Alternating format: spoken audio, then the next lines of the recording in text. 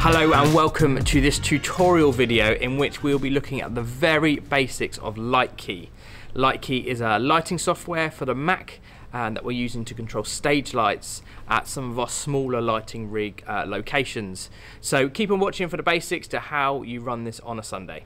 Um, a bit of basics, this computer is connected to a USB DMX dongle and from that dongle is how we send information out to our lights which are all daisy chained together over three or five pin XLR cable.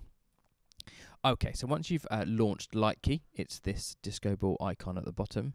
It will bring you onto this landing page.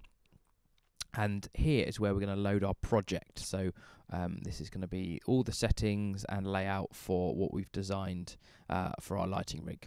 So what you're looking for is the one that's right for your site. So for this example, it's Windsor.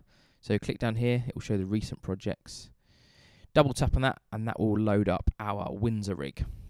Now as default it will full screen itself. Um, if you're using the computer for other applications you'll want to minimize it.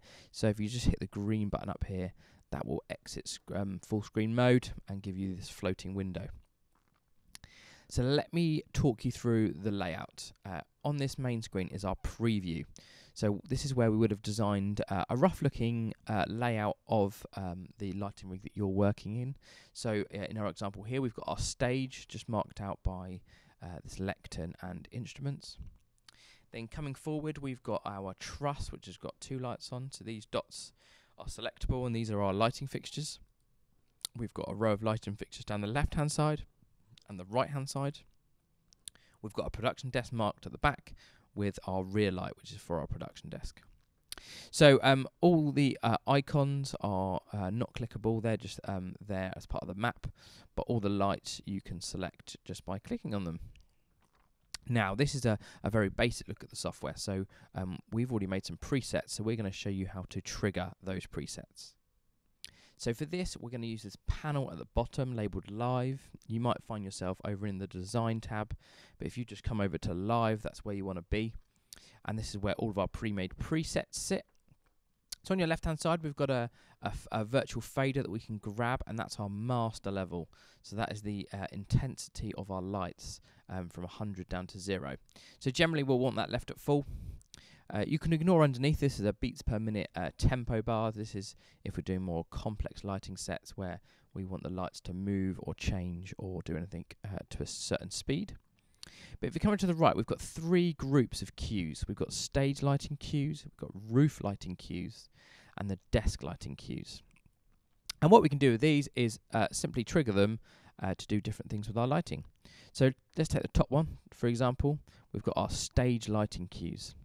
So if we were to hit white 100%, you'll see in our preview, these lights go to white and go up to 100% and also do it uh, on our lighting fixtures in the room.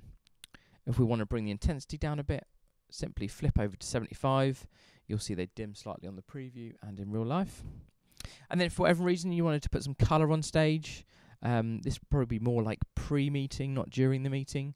Uh, you can hit any of the colour presets. So we've got a, a nice blue, purple, and a red. And you'll see that they're, they're fading between, okay?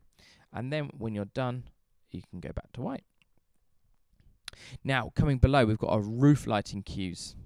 So, um, work exactly as the ones above. Uh, we don't have the whites. Uh, instead, we've got colours because they look great on the roof. Uh, so you can simply toggle between them and they'll do a lovely little fade in between. And on these, we do have an off, so there might be times in the meeting where you don't want them on for whatever reason. You can simply hit the off, and they will fade out over a couple of seconds. And then finally, just at the bottom, you've got your desk lighting cue. So this is for the light that's just aimed on the production desk, give you some light. So something like a, a blue or a red works great for um, illuminating the back area. So just simply hit that. That will fade the light up. Okay, that's all well and good. So we know how to use our presets, but let's say we actually need to make some manual changes, possibly on the fly in the meeting, so uh, possibly live. Well, you can do that as well. If you just come over to the design tab, first thing you need to do is pick the fixtures you want to change. So let's say for whatever reason you want to change these back to roof lights. You can select like that to draw a box to gather them both, and now you've got some options. So you can grab colours, so you can send them into a blue and you'll see they change on the preview or over to a purple. And then you can also bring the, the dimmer up to make them even brighter, and that's made those changes live for you. And now, uh, if you wanted to go back to one of your presets, simply right click and go clear properties from all fixtures, and that will return them back to the last preset they were on, roof lights red. And that is as simple as that.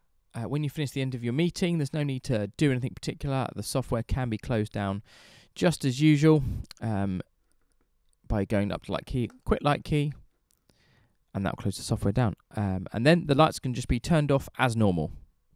So that is the basics covered. If you have any further questions, you can email production at kerith.church or get in touch with your production lead at your site and we'll be happy to find out more.